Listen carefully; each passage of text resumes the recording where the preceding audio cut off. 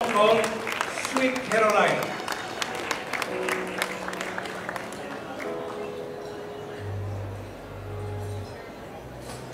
Hi everybody. I would like to dedicate this song to all of you.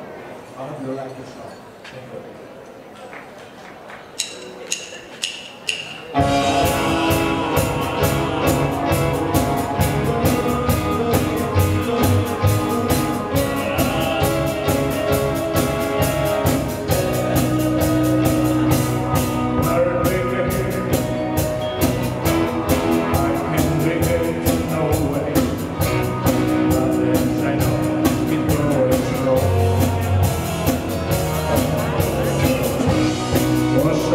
Lord.